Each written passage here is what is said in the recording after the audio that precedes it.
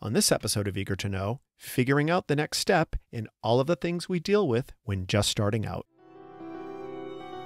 We all have a creative part of our brain, whether we use it or not, for generating new ideas, problem solving, and just viewing ourselves in this world.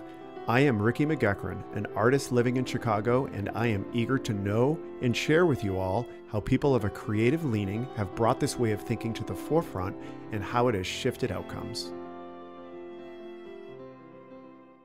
Many of the guests I have had on Eager to Know are people who are well established in their creative careers. Oftentimes, we talk about what it was like when they just started out, the challenges they had, and how they got things moving. I decided I wanted to speak with some people who are currently in the early stages of a creative journey. I wanted to speak to them about what they are currently experiencing today. My guests today are an actor and a painter who are just starting out. So, Hannah and Kevin, thank you for joining me today. I wanted to get a couple of folks that are early in their creative journey um, to talk about being early in your creative journey. And I wanted to specifically get people that do different things. And Hannah, you're obviously an actor, Mm-hmm. and uh, Kevin, you are a visual artist. So, can you just, Hannah, let's just start with you. Can you just briefly tell me about being an actor and what you're currently doing? Yeah, absolutely. So I moved here about a year ago from Seattle. Um, worked for about four or five years in Seattle and just felt like it was time for something new and different. Chicago's a bigger market, there's more opportunity, it's a lot less expensive than New York. Um, and so the process of getting restarted in a city where you're not in school and you don't have a lot of connections is uh, kind of looks like taking classes, sending your headshot and resume out to people, trying to get someone to call you back. Um, it's tough. It's a lot of my big metaphor that I keep coming back to is that it sort of feels like you're tapping on the glass from the outside looking in, just hoping that someone will come up and go, "Oh, I hear something." Yep. Um, and that you know, getting one foot in the door, taking a class, meeting the right people, getting one audition, getting just one person to call you back every every little thing feels like a step in the right direction. So it's a lot of what feels like cold calling for the first year or two. Okay, that makes sense. Now, Yeah. Kevin, tell me a little bit about what where you are in terms of you're doing painting. Right, I paint. So yeah, um, I would say I'm still pretty early in that whole uh, process. Uh, it sounds like she's a little bit further along, but I started painting. Uh, let's see, fall of 2017, I think. Okay. So, yeah, I'm just starting to get in some shows. I in May I rented out a gallery for a week uh, in Rogers Park and put on like a little show for myself, and that was a really good learning experience. Just uh, you know what it takes to uh, you know do that to host all that and then you know meeting a lot of people getting Yep. feedback on my art from strangers because a lot of the time you know you have your family your friends that are seeing it and they can give you honest some honest feedback but mostly there'll be complimentary but it was a lot of strangers that i was getting feedback from and so that was a really good experience and kind of propelled me a little bit forward and Yeah, that make that makes sense to me. I know I recently had um, a show where I did have no one that I knew came, and it was a great experience because I knew that all the feedback was from strangers, which is very impor- important. So it sounds like there's a lot of commonality between where you guys are. You're both kind of figuring out what is the next step. What should I be doing? What do I do today? What do I do this week? What do I do this month? Where where do you get your guidance as to what you should be doing, um, wh- where you should be spending your time to move things forward? Are you do you have like other actors that you connect with? Um, Yeah, I mean the formula for actors is kind of set in a weird way because really you just need to get a foot in the door with either getting cast in a show or getting an agent. okay, And so that process, especially in a big city like LA, Chicago, New York, it's pretty formulaic because you know what you have to do and you just have to be able to um like for example, the first class that I took here was recommended to me by a woman I knew from Seattle who came to DePaul to get her MFA in directing and she recommended a class for me. So I took that class and from that class I had the um, guy who taught the class recommend that no, when you're in Chicago, you have to have an agent. Okay, so how do I do that? literally googling people okay how do i submit my information okay these i submitted to this many people nobody called me back okay i'm going to try again in six months like the formula is pretty set Hmm. Okay, that's interesting because Yeah. I know as a visual artist, it's it's it really isn't. Mhm. So it sounds like for uh, for an actor, Mhm. there is a there is a set of tasks uh, like a project plan. Yeah. It's just really discouraging and really frustrating. exactly However, I don't know necessarily with you know visual artists if do you feel that there's a plan that you know what you should be doing? Well, that's a good question. So, like, I didn't go to art school or anything like that. So maybe there's more of a plan than I realize. Yeah. And I just, right now, I'm just trying to meet people. Um, I'm also taking a class, my first painting class, um, in, in September. So, you know, maybe hopefully meet some people there. Just sort of build that connection of artists, um, that network of artists, and yeah, kind of go from there. Yeah. No, do you Hannah, do you have a connection of people? I know you're new. Uh, Do you have a connection of other actors or people in the industry? I knew one person when I moved here, and that was the woman that I knew from Seattle who came to DePaul. Um, but she was, I mean, again, it takes one person, and she was the first person that I knew. She was the first person I called when I got here, and she was she recommended a class to me, and that class has really been a great way for me to meet other actors, ask them questions about, okay, who's your agent? How did you get cast with that? Where do you see your shows? All that kind of stuff. Yeah. So one thing, you know, doing this podcast, this is like you guys are episode 28. So I talk to a lot of creative people who are in different phases of their creative journey. Mhm. Um, and one of the common things, there's a lot of common things that I hear, but one of them is staying connected to others that are doing the same thing as you. Um, is always something that people that have that are moving things forward for themselves is that's that's always um, an element of their journey of what they do. Um, so in whatever that means, it sounds like you know that's something that you're focusing on. Um, but I, you know, I would I would agree with that. I mean, that was one of the reasons why I started this podcast was because I had, you know, I moved here a year and a half ago and didn't really know anyone. I knew one person who was an artist, and I had to think of a way to. Well, there was other reasons, but that was I had to think of a way to meet other artists and I'm like all right well i'll do a podcast and then i can invite artists on. Um, you know it ended up the journey of the podcast has turned into something completely different from that because i actually don't really even have visual artists on that much anymore.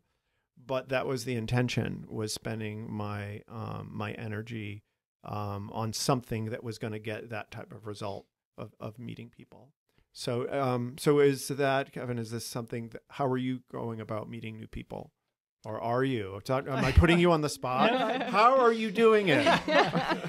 uh, admittedly, I probably could do a little better. Um, you know, obviously there's the internet, which makes it easy to like reach out to certain artists. Um, you know, I follow a lot of artists on Instagram, and occasionally I'll be like, I've even just asked them like, "Oh, how, what colors did you mix to make that?" Nice. And so that's been kind of nice to just artists that I admire their work and they'll respond most of the time. So that's Right. been cool. Um yeah, uh so this is how we met, but I've gone to um an art critique. I went 3 times at a gallery. And that's been really good for meeting people Yeah. um and just yeah, again getting feedback from strangers but also meeting people and, you know, exchanging information and trying to build that network. Yeah, I feel like the internet is such. It causes so many problems, particularly around social media. Um, but I feel very grateful that we have it because it's such a great way to connect with people, and particularly you know other artists or other actors. It's really I don't know what people did like 25 years ago.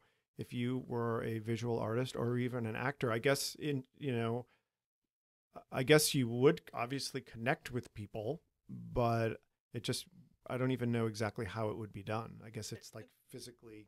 And it's funny sometimes, you know, I'll have a conversation with somebody and then you just totally forget their name. And you're like, "Well, I know they painted a sunset in Chicago." And then you can kind of Google that and you might end up finding them that way. And so that's been, that's happened a couple times like yeah, that's what I, I like the internet for that. Yeah. Yeah, there's and, with any city that you go to, there's always going to be um, a women in theater Facebook group. So that's always a really good way to immediately hook into an industry that, uh, you know, the entertainment industry has its faults, absolutely. And it's nice to immediately connect with other women. And it's a safe place to go to say, did, hey, I had this weird experience, or hey, you know, I got turned down for this role, but I'm really hoping that someone else got it. Um, you know, and just to post about pretty much anything and everything that women in theater deal with. Okay. Um, and it's a good, it's just a good place to gather, place to get information, place to exchange information if you need to. Almost, yeah, I think every single city would have a women in theater Facebook group. Okay. Yeah. uh, One of the great things about um, Chicago is because it's such a big city, is that there there are tons of people that do whatever you do. Mm-hmm. You know, it is because it doesn't really feel like a giant city, really. But when you look at the numbers, or when you put something out there, or you have like an, an interest in something, even at the most obscure thing, there's just so many millions of people that live here. You realize how quickly, how, you know, how qu- realize quickly how how big it is. Um, so, how do you guys keep things moving for yourselves and and keep yourselves motivated to move things forward? I try to do one thing every day. Okay. So whatever that looks like, whether it's you go to see a show, Okay. you get coffee with someone who you saw on a show that you want to talk to because you like their work, you send out your headshot and resume to another agency, you whatever you can think of, do And- one thing. And you are pursuing day. acting full time. correct. Okay. And then Kevin, you are not doing art full time. Is that accurate? Right. That's been a challenge. Like I- I work full time right now, and um, it's definitely less. Like there's less time for painting than I'd like. Sure. But um, yeah. I mean, basically, I just try the free time that I have. I I don't really know what else to do, so I kind of just paint, and um, I guess that's how I've been moving forward. I think that sounds like a good plan. So I know I know for me I'm much more regimented about in planning my painting time. Um, even though that's what I do full time. Um, but it's definitely more scheduled and um, I'm not a um, I don't have anything to do. I think I will whip up a painting type of person. I But- think maybe if I were so I was at a job for eight years um, that got laid off basically like a year ago. And so for a while I was unemployed and then I was partly or uh, worked part time. And so I think when I I was a little bit more regimented at, at that point um, in terms of painting and just scheduling that sort of thing. But now, yeah, I just I try to use the limited amount of free time I have and just again I don't really know what else to do, so I'm like, well, let's Yeah. do that. How did you get into painting? Gosh. Um so it's kind of a weird st- but like I play this um Star Wars tabletop game with these like little miniature spaceships. Okay, like a Dungeons and Dragons type thing. sort of. Okay. Um it's sort of like chess, Okay, but so there's spaceships and I was like I kind of want to paint these. okay. So I started painting them and then I was like, "Oh, this is fun to paint and like make it my own."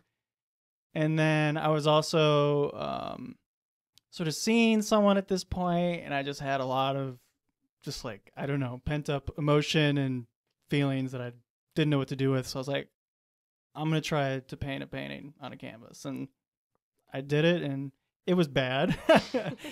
How did that work with the feelings, though? Did it? I mean, it was felt good. Yeah, and that was kind of I was like, okay, this is bad, but it made me feel better, and it sort of helped me figure stuff out. And I just painted another one and kind of went from there. Yeah. Interesting. So, is that something that is helpful to you in dealing in processing feelings and emotions? I think so. I mean, I think painting for me is like fairly meditative, where it's like, you know, you're thinking, but at the same time, it's almost like you're like reptilian part of your brain that's thinking rather than you're like actively thinking. Yeah. So, yeah, that sort of helps. That's part of the reason I really love painting is just like it's almost it's you know, you're getting your emotions out onto the canvas, but it's also just a calming effect. So interesting. The person I, I know when you guys were coming in here, uh, there was someone else that was leaving who was holding a guitar, Mm-hmm. and that's that was a big part of our conversation. Is that he uses music as a way to do exactly what you just said to process feelings and as a way to channel them and you know heal or just to feel better now i can't imagine acting is anything like that If anything, I is need a escape break. is it escape i mean I think like do you escape into someone else or i don't know it, it sounds to me it would be more using your brain but but I, don't think know. I, well, every actor is different, to be fair. Um, but I would say, if anything, uh, you know, the last production that I was a part of was The Diary of Anne Frank. And the way that we staged the ending scene was that, you know, in previous iterations of the play, the light, you know, you'd hear the Nazis knocking on the door and the lights would go down and the play would end. In our version, you literally see them come into the home, separate the families, pull them apart, ransack the house, and take them. And it was horrific every single night. And we did that play for four months oh my and it God. was just it i was exhausted by the end because i would cry every single show and i'm not i'm maybe this is not a plus for my career but i've never really been one of those actors that can cry on cue i know people who can do it and i think it's incredible given the circumstances of that particular story it came so easily every single night and it was just we'd all get off stage and into the lobby and just sort of and take a deep breath and like make a joke and pick ourselves back up because we had to do the show again, you know, two hours later. But it was, if anything, I needed, I'd go home and watch like garbage TV at night because I needed a break from the emotions that all of that was living in my body so much that I was like, I need some Great British Bake Off. I need some Derry Girls. I need something that is just goofy and light and happy that's going to make me forget that I have to go back to the Holocaust tomorrow, you know? So Yeah. it depends. I think it depends on the play and depends on the actor. so why did you get into acting Um, I have little to no athletic ability. Okay. and when I was a kid, my pa- I had a lot of energy, and my parents kept trying to stick me in sports, and I was just awful at all of them. Um, and they stuck me in a play when I was, I think, in fifth or sixth grade, and I just, I. I loved it because it was, you know, everyone was looking at me. I was the center of attention. It was so exciting. I could dance, you know, all these things that, you know, I was a super ham as a kid. So it was a good outlet for me. Cool now is that tension a big part of it um, for you still The tension. that the the attention Oh, the att- attention. No, if anything, I'm a little embarrassed. okay so it changed from It that absolutely it changed. changed it into yeah, I- something else so what is it now it moved from that to what I, think it moved to more of a of a desire to tell stories and be a part of something that's bigger than yourself. Um, the for me, the real high of acting is is the communication between the audience and the actors, and that it's live. You know, it's not on TV, it's not on film. You can't go back and redo it. If you mess up in the moment, you got to roll with it. so you like doing live stuff? I love live theater. you love live Yeah. theater it's okay just so exciting. Anything can happen. Yeah, I heard that there's like a relationship that develops between like the performer and the audience. Yeah. Like there's like some sort of connection that happens. hmm I Yeah. think so. Yeah, I mean, they're we call them your third scene partner. Kind of a term that we use. So you obviously you rehearse the play, you work with the people that you're going to be performing with, and you rehearse and rehearse. But then you put it in front of an audience, and all of a sudden a scene takes on a new life, or a joke that wasn't there before becomes a joke because of the way that the audience responds to it. So they sort of become the third. I don't know, piece of information that you receive that influences the show. It's very interesting. I have, um, you know, I interviewed a bunch of artists called um, a group called They Won't Win. And one of the things that I talked to them about was something similar because they spent a lot of time and energy creating all these songs in the studio. Mm. And I asked them, when you finally put it out to the world and people receive it, does it change for them? And they said, yes, it does, because it takes on a whole new meaning when people are receiving it and you see people's reaction. Like you intended it to be one thing, and then you see people experiencing it and it means something else. And it sounds like something similar could happen where you're practicing for your performance, and then once you do it, it could actually change. Oh yeah. And it should. That's I mean that's the joy and the excitement of having a live audience is that you're going to get information you didn't have before and it it it did change for me at least it changes. You might do the same show consistently, but every show will be slightly different night to night based on how the audience reacts. And it's hard if they're not reacting and then you had this raucous amazing audience the night before. As an actor, you're up there thinking like, "Oh, well, do they hate it? I don't know." And you have to knock it in your head and just keep doing your thing. Yeah. You I'm I'm curious. So like stand-up comedians, a big thing they have to get over is like bombing. Like, is that something that happens? Like, you there's just a night like it- you maybe not you in particular, but like let's say just all of the actors. It's just not a good night. The audience isn't Yeah. laughing, or maybe Well, the worst is when you have maybe you're having a good couple who runs the show and you've come to a point where you know you get a laugh on a certain line every single night. And so then you start building in space for the laugh because you know it's coming. And the worst is when you build in the, the space for the laugh and it comes and nobody laughs and then the actor's like, "Okay, hurry up, hurry up, like keep going because you have to pacing is everything." So if mm-hmm. you lose if the audience doesn't laugh, someone whoever talks next next basically has to be on their toes enough to just jump right in and keep going so that the audience doesn't know, oh crap, la- something was I, supposed to happen. I feel there. like that would be really hard to get back on track. Like if you were, if You there was just a have to gap, keep yeah. going. I mean, that's why you're a professional. Yeah. That's why they pay you is just keep going. Don't worry about it. Someone will laugh tomorrow. You know, that's the other thing is that next night could be totally different. Yeah. Stand up terrifies me. I don't think I could ever do stand up because of the exact you're up there by yourself and if you're not funny, they're going to let you know. Yeah, that sounds You- like. But yeah. but like on the flip side, if it works, like that must be exhilarating. Yeah, I You would know- imagine. You know what I mean? Like Yeah. if people are like falling over laughing or whatever, they're responding in the way that you intended. Mhm. That must be really me, me really exhilarating.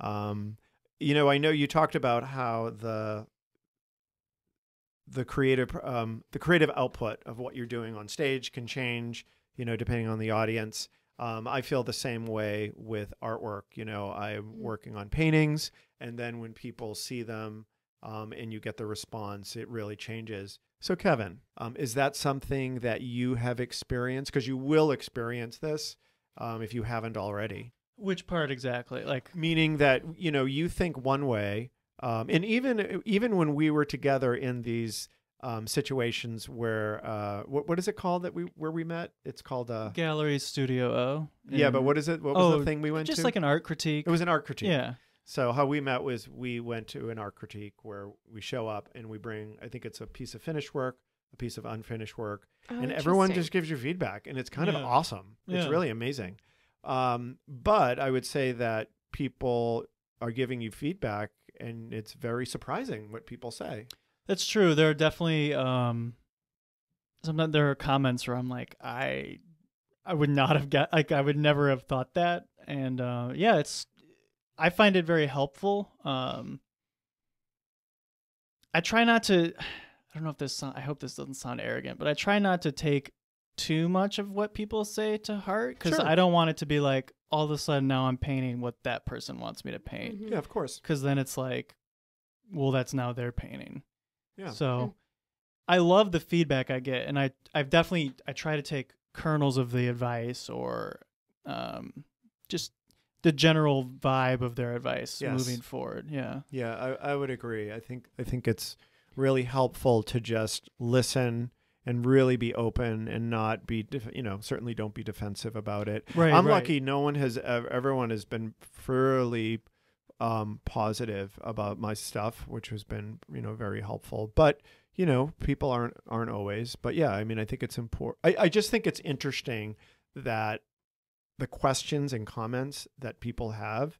And sometimes I'm like, I never had even considered that, Right. or yeah, like it's it's very important to What get. is it like to have, um, you know, because as an actor, your work is your body. You use your own body as your own, I guess, canvas. Maybe is a fair comparison. What is it like to be able to stand, like for a painting, for example? What is it like to be able to stand there and stare at the same thing that the person next to you is staring at? Like, I'm very intrigued by the fact that your work is l- physically separate from you. It's not your own body that's being used as the piece of art. It's something you can look at in front of you.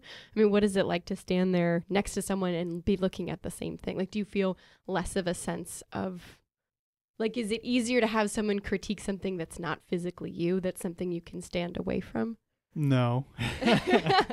Me, uh, meaning, I, I don't understand the question. Is it easier for someone to critique something that I didn't create? No, no, something that you did create, but that you can both, it's like a physical object that's separate from you. Okay. Is it, I- like, I'm, I'm I think what so like when somebody critiques you're acting. That's like they're critiquing you. It feels very personal. Right. Yeah. Does it feel any less personal because it's on a Oh, canvas? Oh, I see what you're saying. Um, I think it feels pretty personal. hmm yeah. Um, I, I wouldn't say that if someone's saying something, it's it's less personal. But if someone is, it's more about how people behave.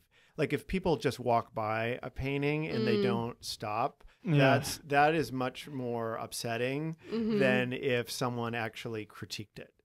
Like you Interesting. know, if they didn't, it didn't even register on their radar. Okay. Um, Yeah. Like I'm doing Edgewater Art Festival or whatever it's called, uh, you know, the art festival that's in Edgewater. So I'm going to have all of my stuff out on the street in September. And like I'm bracing myself because it's just going to be volumes of people walking by. You know, I'm sure they're going to be ignoring me. Mhm. So I'm going to have to, you know, brace myself for, Mm. for what that's going to feel like. But I think that, um, so what you're, I mean, do you have any opinion on what she just, what she just said? No, I, I, I, I agree. Um, that it, I guess for me, I paint a lot of stuff that's very personal. Like, Yep.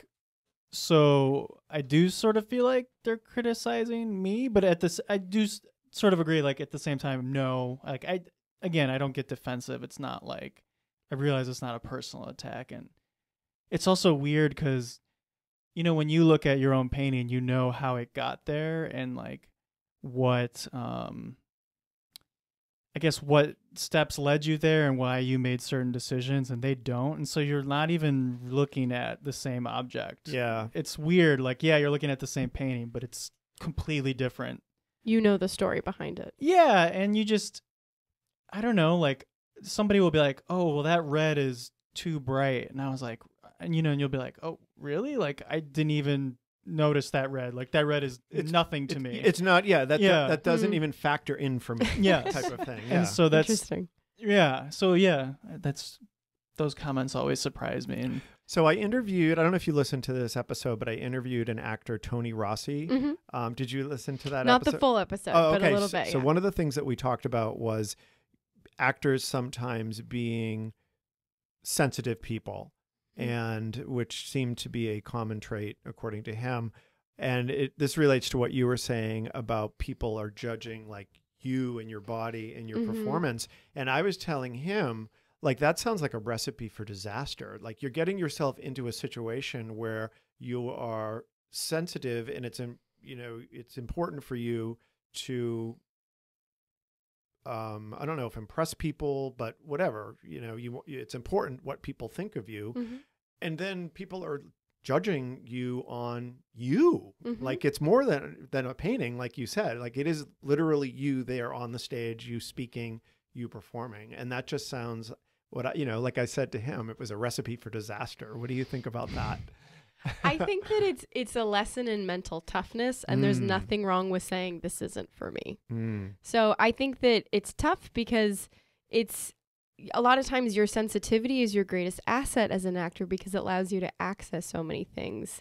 It allows you to be observant and to have an extreme empathy even for a character that you might not that might not be that likable, but yet you have to infuse them with human life. Hmm. Um and so I think that it's it's yeah, it's hard because it attracts I would say that your sensitivity is often your greatest asset because it allows you so much so much room to feel. But at the end of the day you still have to take care of yourself. And Yep. if you're if you're allowing whatever's happening on stage or with that character to bleed into your own personal life or whatever then that would be a point to take a step back and say like okay does this feel healthy? Does this feel not?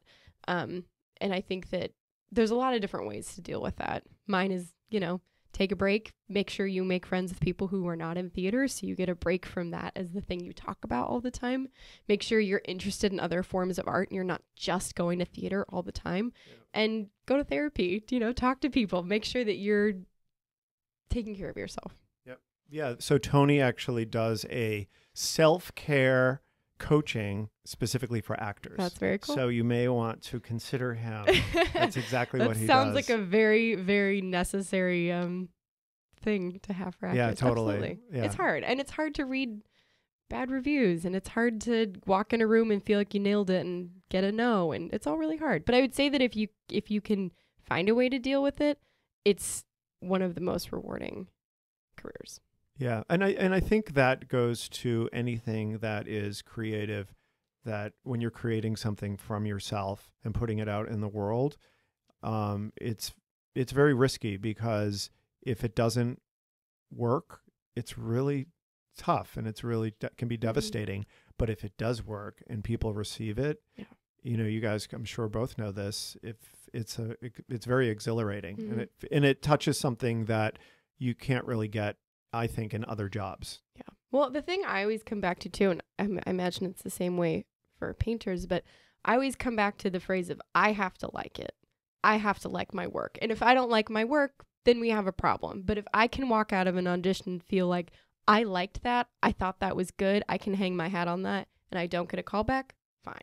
But if I walk out thinking I could have put in another hour, I could have tried a little harder, I could have asked for help on this audition, then then we have a problem because I don't like my work. And if Yep. I can like my work and walk away, then everyone else's opinion to some extent doesn't really matter.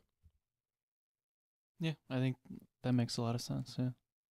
Yeah, I can agree with that. I know I have um I have one particular painting that I did that I think a lot of people don't really like, but I love it. Like it's one of my favorite paintings I ever did and I don't really care that people don't Yeah. really like it. It doesn't really bother me. Yeah, Uh, I have I have a few of those. Yeah, for sure. And I think that's really interesting. Yeah, yeah, I wonder what that is. Is that I don't what is the painting of that you're thinking of? Like what's it, what's the subject matter? Um, it pro- it's probably it's a subject matter that means a lot to me. It's right. it's a That was uh, what I was going to guess. Yeah, it's an amusement park ride, and it's of an amusement park ride, and it's at night, so Hmm. it's basically just the lights. So it's really unique, and I I feel like it's something that it was kind. I felt it was daring for me to do, and also um, I think it's just a unique painting, and I'm just really glad that I did it. And I don't know if nobody wants it or doesn't buy it. I don't know. I'm okay. I, I'm really glad that I did it. But I bet you if enough people see it because it meant that much to you and has your heart in it. I bet you it'll resonate with somebody.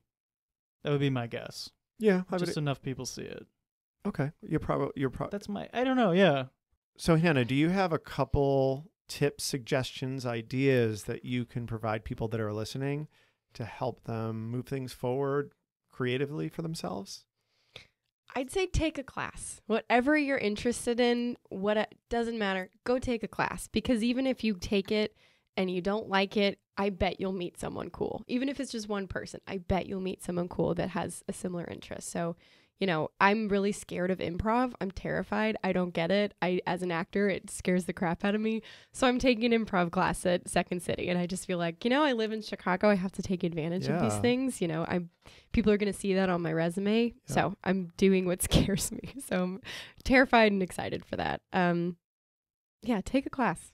Okay, great. I think that is a that's a fantastic suggestion. Thank you. Kevin, how about you? Uh, my suggestion would just be to do it. Like, I don't know if you want, you're interested in drawing, painting, acting, whatever. Just do it, cause like, and not also just do it, but don't be concerned about the results at first, cause it's gonna be bad. It might look really good at first, but you're gonna look back and think it's bad. But yeah, just do it and see how it feels. Um, and you're gonna get better. Like, uh, a lot of people I'm not gonna say a lot of people. Occasionally, people are like, "Oh, you're so talented," and it's like, I appreciate that, but it's like, eh, look at my early stuff. It's bad. Like it takes work, and anybody can do it. You will get better, and you will see results if you just do it. Yeah. Yeah, I yeah, and I can definitely agree with you as it relates to visual arts. Well, really anything. I mean, it's like well, first of all, anything that you start is going to probably suck Yeah. to begin with, no Yep. matter what. And it's hard. And eventually it will be okay. Mhm. And if you keep doing it, it'll be good. Yeah. And I think that doesn't matter if you're learning French, if you're learning snowboarding, if you're painting, or probably even if you're acting. hmm Would you agree with the Oh, acting yeah. part? Oh yeah. I mean, and the best part is that a lot of people who end up doing acting long term are just the people who stuck with it the most and said like, "No, I still want to be good at this." Because at the beginning, you're just flailing around trying to put something together and it takes years. It takes years to get to know technique and how to move your body and all those things. But the people who stick with it, I think that's I think that is relevant though to anything. I mean, yeah, I think that a lot of people who are successful they just stayed with it. Yeah. Right. And especially um art, I think it's yeah, it's that will that is almost you know, there's not I don't really necessarily think there's talent. I mean, sure there's some natural talent and skill, but like it's a lot of it is learned and it's just the will to keep doing it, to keep making new stuff, to keep acting. Just I always say it's a marathon, it's not a sprint. Yeah. and but I think uh, one of the challenges for people is that it's hard and it it doesn't feel good when you're doing something and you're not doing it well. Mhm. And it brings and it brings up a lot of sometimes emotions and feelings about being inadequate and that's uh, so it's not necessarily always a good experience um but you have to just plow through it and eventually Well, the nice thing about drawing or painting, if it's bad, you can crumple it up and throw it away. you can put it at the very bottom of your stack. yeah but not if it's on a canvas because then you have this big canvas well you can always paint over it Yeah, and you could start small. That would be my suggestion. I mean, if it's bad, put it in the closet. No one's ever going to see it. That's kind I I've been I never posted my first painting on Instagram and I've been kind of thinking about doing it. It's just kind of like to motivate other people to try and be like, you know, whoever liked my most recent painting, look at this first one I did. It was bad. So Uh, i think that sounds like a good idea i think yeah, I, I, think might pe- do it. I think people would appreciate it yeah.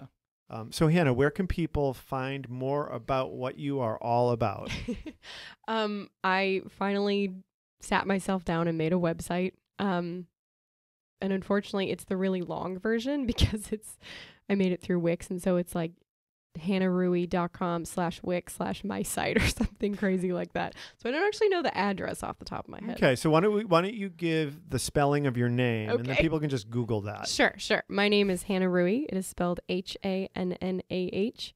Ruwe is spelled R U W E. Okay, cool. And then Kevin, what about you? Where can people go to see all of your work and hopefully that first painting that you ever did, you will be posting soon. Okay, I I feel like I'm pot committed now to do that. But um, so I am on Instagram. I don't have a personal website.